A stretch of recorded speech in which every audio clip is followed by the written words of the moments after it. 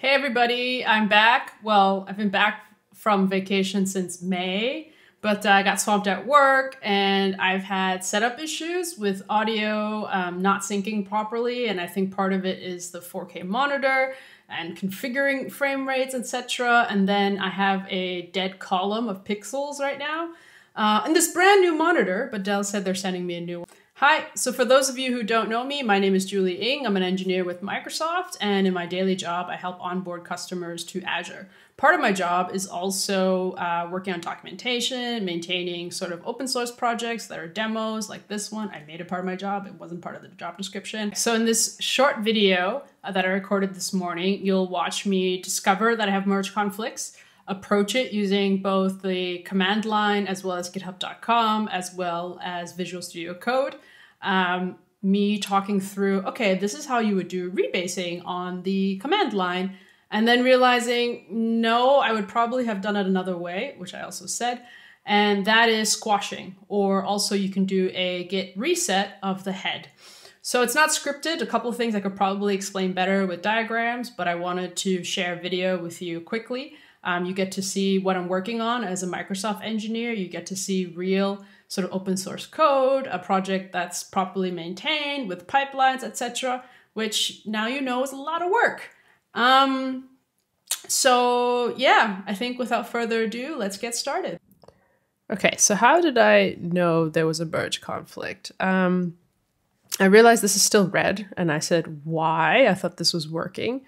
And I realized it was because I had been doing it in a branch and I never merged it back into main. So when I clicked new pull requests, it said, oh, it can't merge.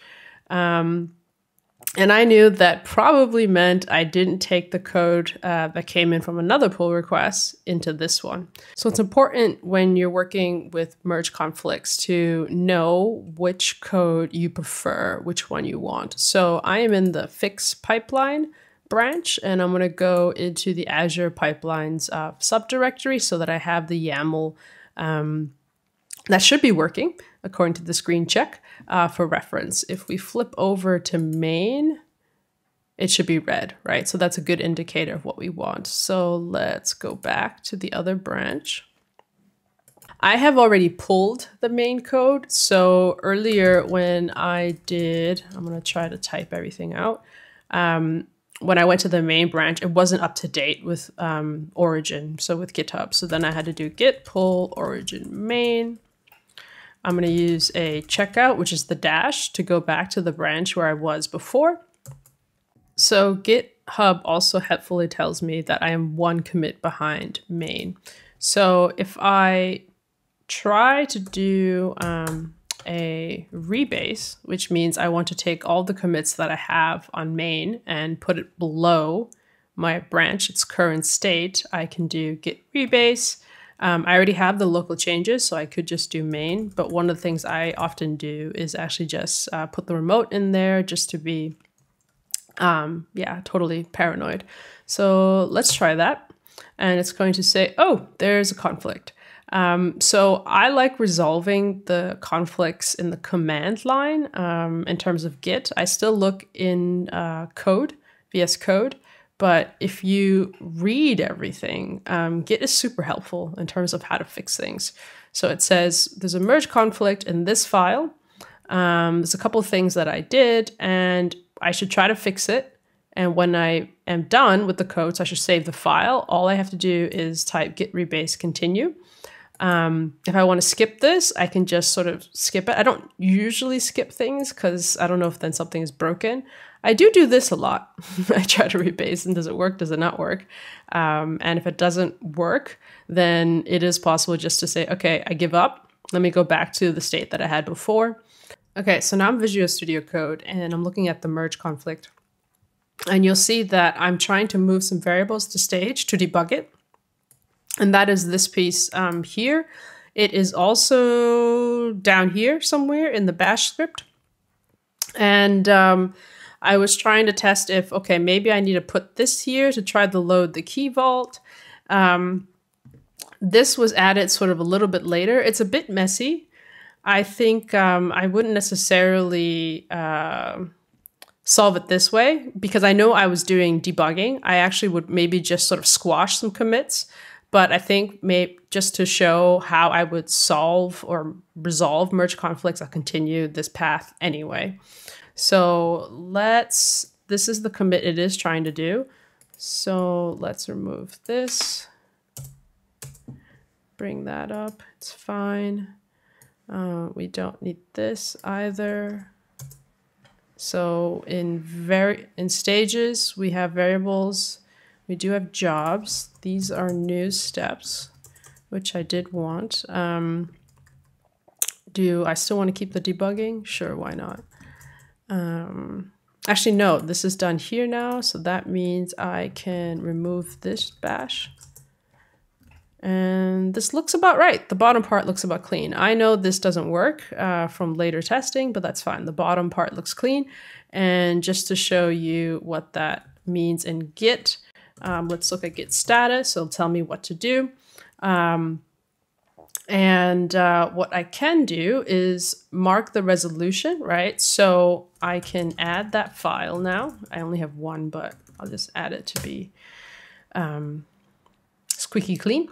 And then we can do git status again because I'm like, what should I do next? And it's like, oh, all conflicts are fixed. Then you should do this git rebase continue. So it's bringing me the commit message that I had before. So I was trying to move the variables to stage. That's what it's still doing. I'm just going to say yes. I'm going to do uh, write and quit. And hopefully there isn't any more, but of course there is. So now I've resolved the conflict for one commit out of eight. And I'm not going to do the next seven. There's a better way. Okay, let's try something else instead. I don't want to fix sort of eight commits individually of just me debugging and moving the same lines over and over. So going back to GitHub, I see this branch is eight commits ahead, but one commit behind main. So let's just check what the last eight plus one, so nine are, and you can see that this is um, some merge request getting put into the branch, and the rest of this is me sort of debugging stuff. I am basically going to unset or reset them as individual commits. I still want to keep the changes. I just don't want to keep all those commits. So what I can do is git reset head and I can do a tilde and say I want the last eight, just undo them. So if I come back to this now, you can see, oh, I still have the um, this one, which my guess is in the main branch somewhere, um, but these are not. So now I have git status. Um, I have these files are new, and then this one, these are changed what if I look at them now, let's go back into VS Code. So you can see I added these, and this is actually the change that I wanted, the refs head production, because um, it doesn't quite work the way I expected when using is main and is production. Because when I load that from vars global, for whatever reason, this is getting processed and this is in the same scope level and it's just, it's not available yet. So I have to do the bare bones build source branch detection. This is exactly what I want. I don't have to, you know, fuddle with um, all the in-between code. So what I'm going to do is just do git add and uh, just do git commit. And I'm going to say um, just fix pipeline code. I'm going to squash these anyway, um, so it doesn't really matter what I said. Although I'm super pedantic and I can show you how to change a commit, so I don't like that fixed pipeline code. So what I can do is come back. I'm going to do an amend, and so I just want to change. So I'm going to say fix pipeline. Um, uh, let's see, branch name targets um, as variables. So a little bit more sort of detail. You saw that when I was trying to debug the rebasing, the commit message told me what I was trying to do. So it's not a great sentence, but that's fine. I can figure that out later. So I know this has all the changes um, from the tip of the fix CD pipeline that is on the GitHub remote. So what I'm going to do, because this is not a protected branch, I can just do git push. I'm going to force push this into um, into there.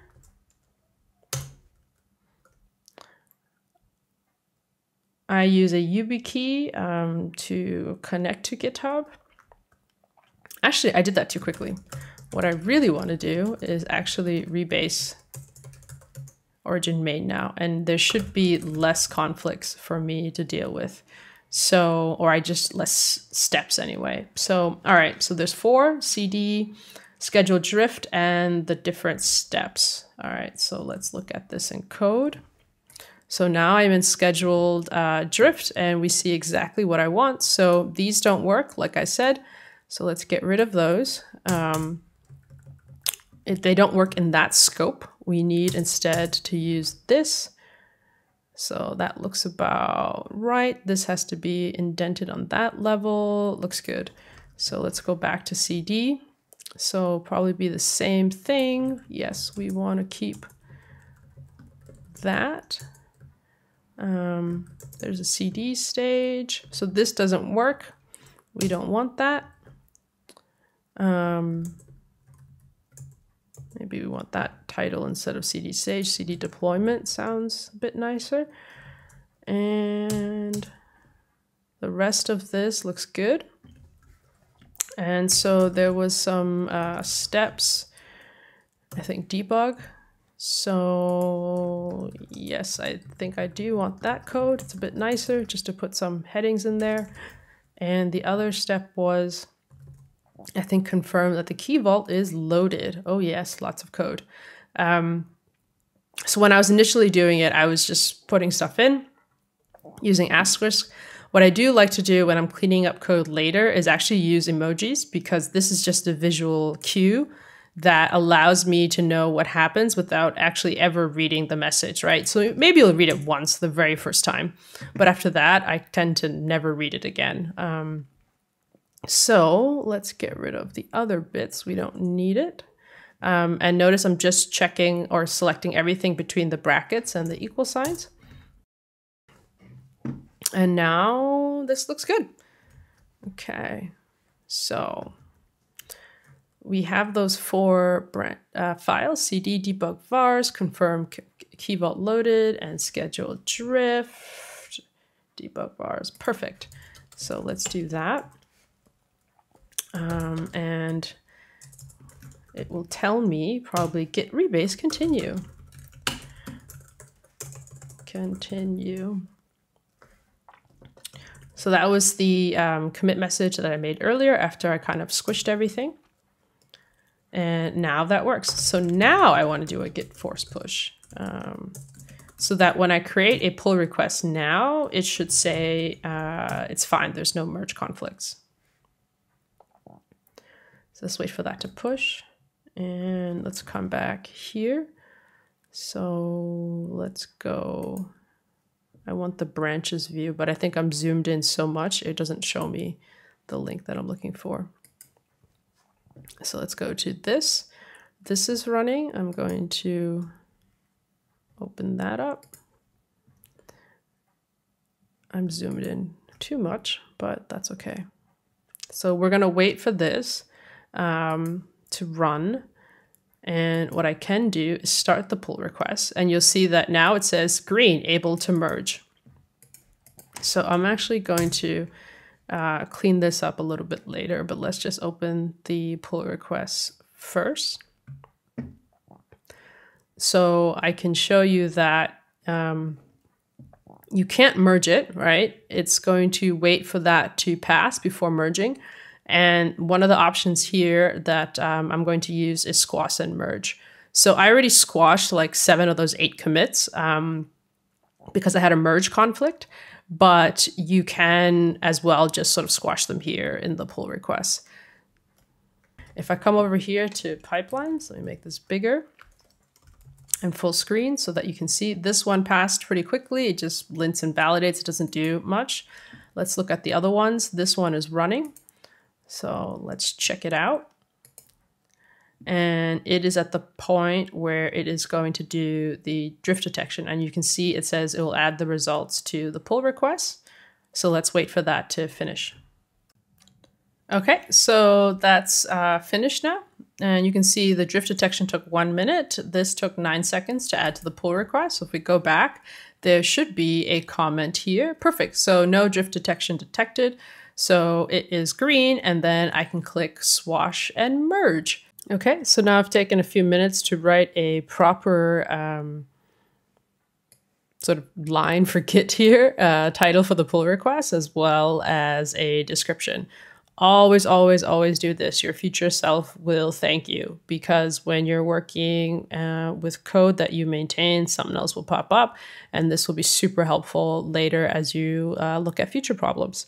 So this is all set now. This is green. I can merge this. I'm going to click here, do a squash and merge. It's going to um, use that original message I actually don't like so much. Uh, what I can do is just grab this one that I want. So come back down here.